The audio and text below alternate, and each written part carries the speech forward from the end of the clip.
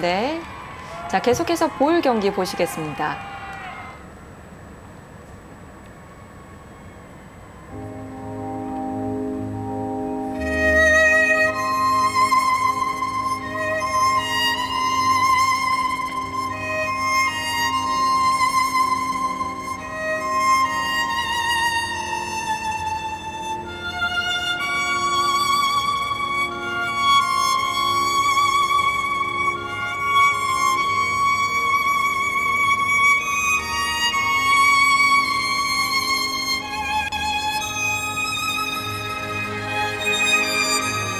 네, 볼이 지금 신체 위에서 굉장히 아름답게 굴러가고 있는 모습이죠. 네, 마치 진주를 또르르 굴러가는 듯한 그런 네, 느낌이 그렇습니다. 들기도 하고요. 네, 우리 손현재 선수 이미지와 굉장히 잘 맞아 떨어지는 분위기죠.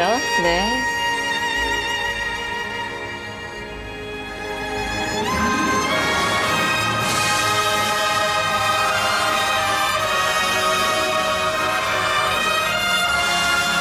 요소도 잘했고요.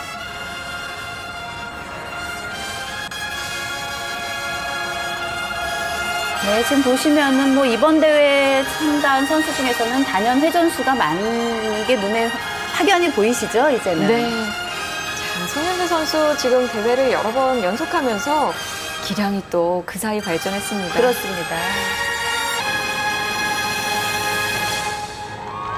자, 이렇게 볼 경기까지 잘 마쳤습니다.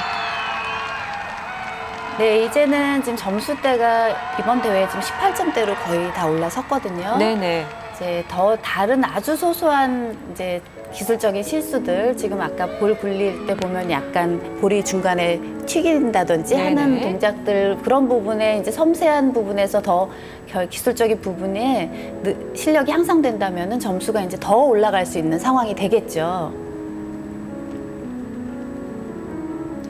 어느 정도 이제 기량이 많이 수준이 올라와 있다 보니까 좀 더 세심한 부분에 신경을 써야겠네요. 그렇습니다.